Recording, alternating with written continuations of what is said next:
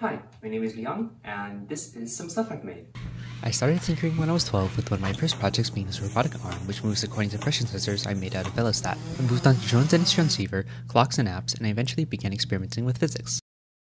I performed calculations and created circuits to create Tesla coils and plasma flame generators. I created a classical physics breaker which uses radioactive decay in order to violate the laws of determination, most notably a seismometer which is not only extremely accurate but also very cheap. It uses dual core processing and GPS calibration in order to record data, which is then decoded from a Java program which processes days of data in minutes. I also made a cheap but accurate light spectrometer, which is able to determine the elemental makeup of plasmas. It does this through a diffraction grating, and instead of using a lens, it's calibrated through a polynomial fit to achieve nanometer accuracy.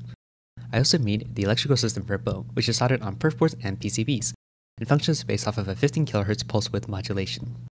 My most recent project is this electric race car. I started by modeling and simulating a very structurally strong chassis, which is then cut and welded together according to schematics I made. At the same time, I welded a battery pack which is air-cooled an ECU to maintain it. Each of my circuits is designed and then soldered on perf boards or PCBs. I soldered these with a reflow plate I made out of a clothes iron. These circuits are then configured in separate modules, of which there are 5 main ones. The whole car consists of about 20 separate controllers and processors. A very simplified map of it looks like this. These are coded in C++ and Python, and in total it consists of about 6,000 lines of code. This main display is programmed on a Raspberry Pi which takes data from the CAN bus, controllers as well as settings, and adjusts cooling and power feedback accordingly.